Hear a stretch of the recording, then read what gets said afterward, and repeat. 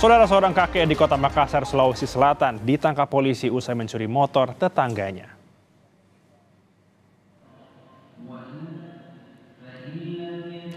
Inilah rekaman CCTV saat pelaku melintas di sekitar lokasi sebelum mencuri sepeda motor yang terparkir pada Jumat dini hari.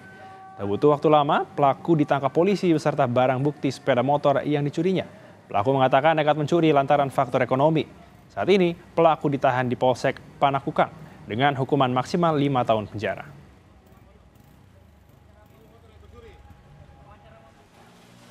Awalnya ini sepeda motor korban itu korban korban parkir atau simpan di sebuah gang di dekat rumah korban. Bahwa pelaku pada saat melintas di gang tersebut melihat sepeda motor itu terparkir, maka dia dengan menggunakan kunci yang dibawa, kunci sepeda motor milik pelaku sendiri yang dibawa, coba untuk uh, menghidupkan sepeda motor itu dengan menggunakan kunci.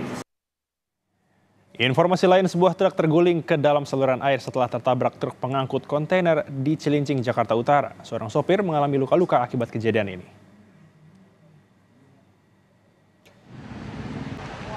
Kejadian bermula saat truk yang baru keluar dari SPBU tertabrak truk pengangkut kontainer.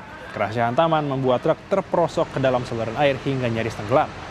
Truk dapat dipindahkan setelah polisi dan petugas dishub mengerahkan mobil derek untuk mengangkat dan menarik truk dari dalam saluran.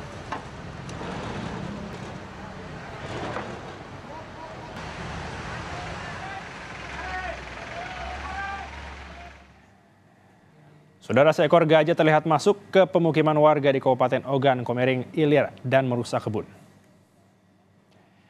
Pihak BKSDA menyebut pemukiman warga yang termasuk dalam wilayah konsensi itu merupakan jalur atau koridor perlintasan gajah, sehingga masuknya hewan tersebut dianggap wajar. Namun untuk kali ini, waktu gajah berdiam di pemukiman lebih lama dari biasanya. Hal ini diperkirakan ada tanaman di kebun warga yang disukai gajah. BKSDA Sumsel juga memberikan edukasi dan mendampingi warga agar tidak salah dalam penanganannya, serta berupaya menggiring gajah keluar pemukiman.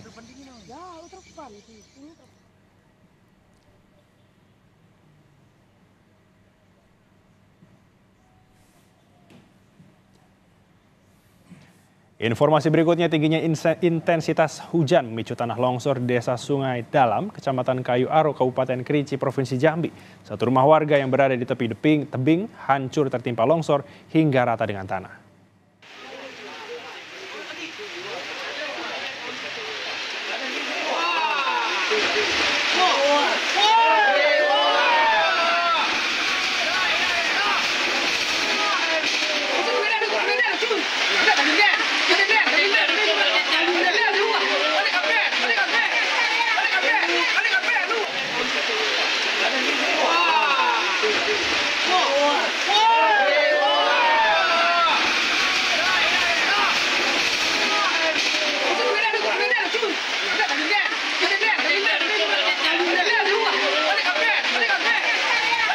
Diguyur hujan deras Gunung Anaga di Purwakarta, Jawa Barat longsor, warga panik seketika.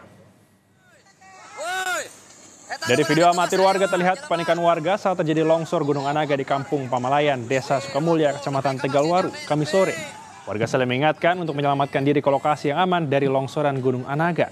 Karena longsor menyebabkan sejumlah rumah warga, rumah ibadah, dan fasilitas umum rusak. Setidaknya 140 warga dari satu RW yang terdampak longsor Gunung Anaga dievakuasi ke lokasi pengungsian di gedung sekolah.